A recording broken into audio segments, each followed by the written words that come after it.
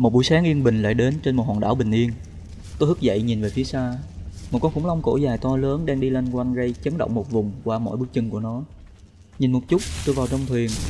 Gỗ trong lò nung thì cũng đã cháy hết. Tôi lấy gỗ châm vào lò nung rồi bật lại ngọn lửa. Lấy sắt tươi ra đem bỏ vào bàn chế tạo.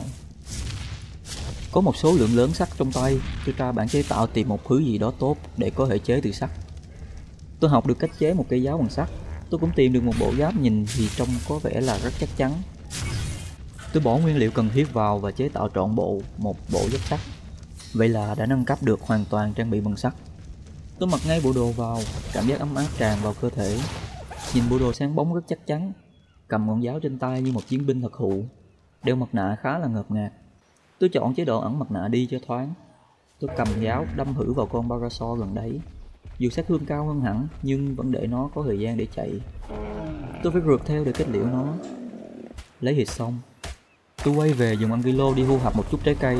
Có lẽ Ankylo không cho được sản lượng tốt. Tôi quay về huyền và mang ba sừng ra tiếp tục đi thu hoạch. Giờ tôi mới có cơ hội để chú ý. Ngoài thu hoạch được trái cây, tôi cũng có thể thu hoạch được một số loại hạt giống. Trong đó có bốn loại hạt giống khác hoàn toàn với những trái cây mà tôi có thể thu hoạch được. Tôi tiếp tục đi hút thêm cây bụi. Hình như vô tình tôi hút phải một con ba sừng hoang dã đang đứng trong góc tối đấy. Thế là nó quay lại tấn công tôi. Những con ba sừng hoang dã xung quanh cũng tham gia cuộc chiến để bảo vệ đồng đội.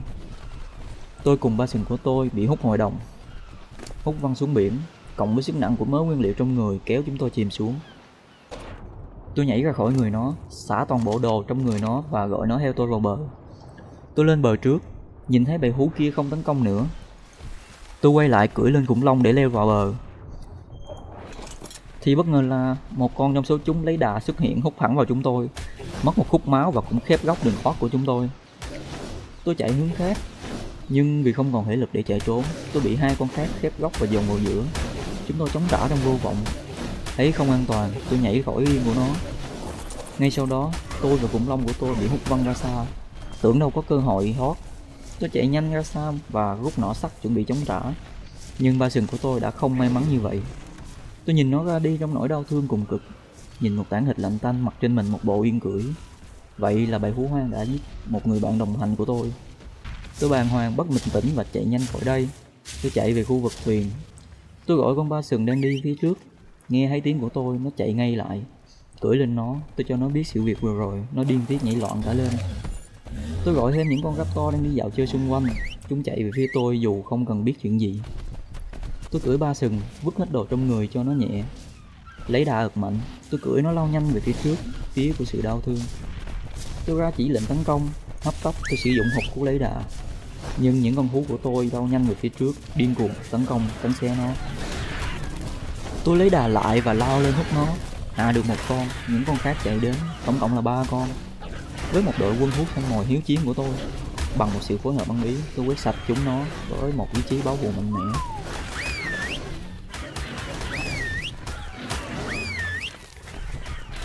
Tôi quay về cái xác nguội lạnh của con ba sừng xấu số. Bằng sự hiếu kinh nghiệm của tôi đã đẩy nó vào tử lộ.